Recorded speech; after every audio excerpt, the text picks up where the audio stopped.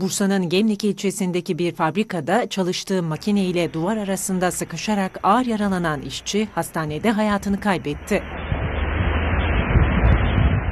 Demir çelik fabrikasında çalışan 49 yaşındaki işçi Metin Topoğlu iddiaya göre 4 tonluk ünite ile duvar arasında sıkıştı. İş arkadaşlarının yardımıyla sıkıştığı yerden çıkarılan talihsiz işçi olay yerine çağrılan ambulansla kaldırıldığı hastanede hayatını kaybetti. Üç çocuk babası işçinin hayatını kaybetmesiyle ilgili soruşturma başlatıldı. Bursa'nın Orhan Gazi ilçesinde seyir halindeki otomobil kontrolden çıkarak bariyerlere çarptı. Orhan Gazi Bursa Karayolu Karsak Boğazı mevkiinde meydana gelen kazada araç kullanılamaz hale geldi.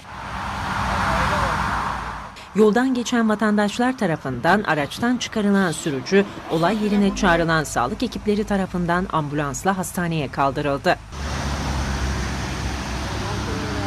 Sürücünün alkollü olduğu tespit edilirken kazayla ilgili soruşturma başlatıldı.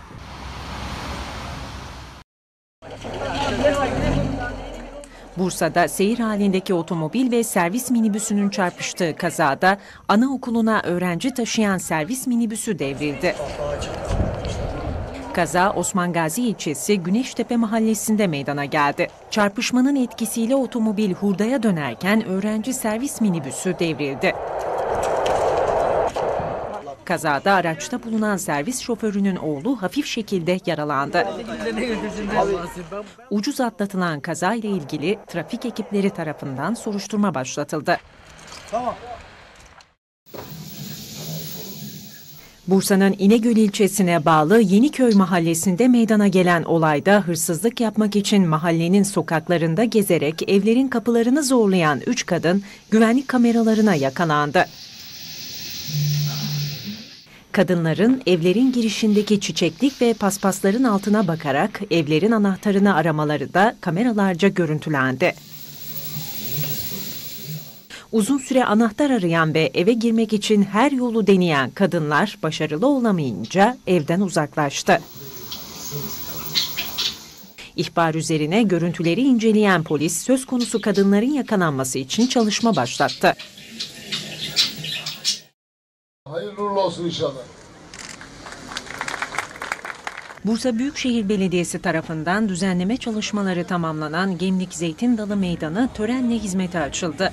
Kayıkhane sahilinden buraya kadar geldiğimizde burada yol kesiliyordu. Hemen bir buçuk metre daracık bir kaldırımdan insanlar trafiğe karışarak tekrar diğer sahile geçecekse buradan devam etmek zorunda kalıyorlar.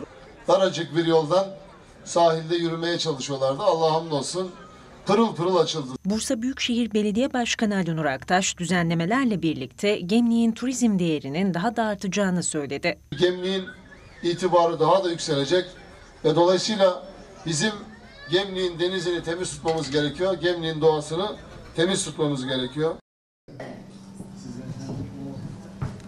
Bursa İl Sağlık Müdürlüğü organ bağışı haftası kapsamında organ bağışında bulunarak hayat verenlerin aileleriyle organ bağışıyla hayata tutunanları bir araya getirdi. İnşallah sizlerin desteğiyle biz daha birçok canı kurtarabilmek adına elimizden geleni yapacağız. İl Sağlık Müdürü Özcan Akan, kurumun toplantı salonunda düzenlenen buluşmada Bursa'nın Avrupa ülkelerini geride bırakarak organ naklinde bir marka haline geldiğini söyledi. Bağışta bulunanlara ve sağlık personeline teşekkür etti. Hemşiresinden nöroloğuna, yoğun bakım e, yöneticilerimizden başhekimlerimize kadar, bölge koordinatörlerimizden acilde çalışan arkadaşlarımıza kadar hepiniz hepsine çok teşekkür ediyorum. Şubat ayında yapılan düzenleme ile ikinci el oto alım satımlarında zorunlu kılınan mesleki yeterlilik belgesini Bursa'da ilk etapta 350 galerici aldı. Bugün burada biz mesleki yeterlilik belgelerini esnafımıza 350 kişiye e, dağıtıyoruz. Mesleki Yeterlilik Kurumu'nun eğitim ve sınavlarını geçen otogalericiler ikinci el oto alım satımı yapabilmek için yetki belgesi de almak zorunda. 12. aydan sonra da e, Sanayi Ticaret İl Müdürlüğü'ne müracaat ederek biz bu belgelerle beraber yetki belgesini alacağız.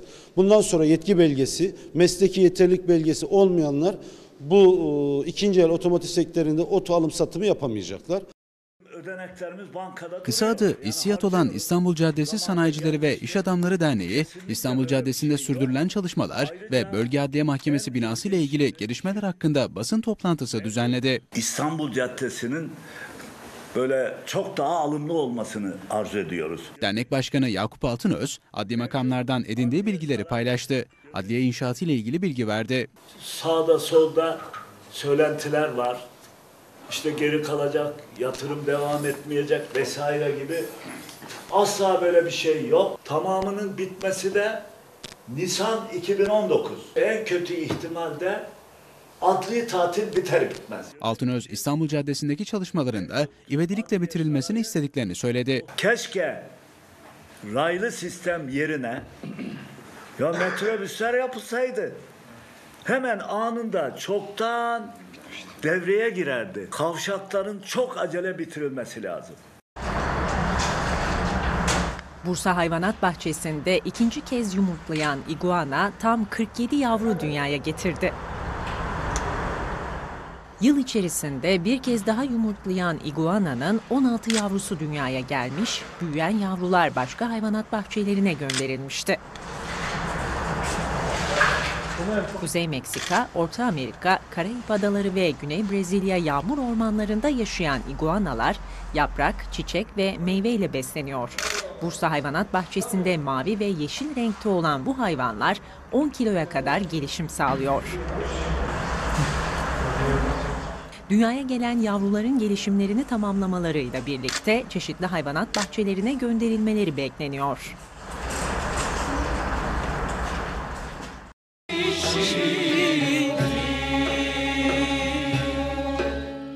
Bursa Büyükşehir Belediyesi Kültür ve Sanat Daire Başkanlığı Orkestra Şube Müdürlüğü'nün düzenlediği Türk Sanat Müziği Klasik Koro konserinde kulakların pası silindi.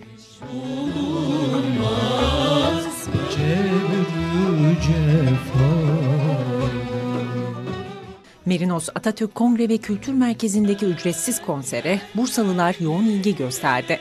Türk sanat müziği sanatçıları ve koro birbirinden değerli eserleri seslendirdi.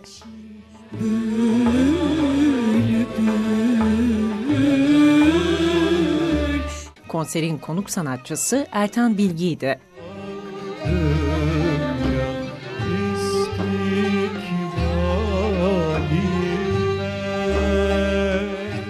Bilgi, koro eşliğinde müzikseverlere Türk sanat müziği ziyafeti yaşattı.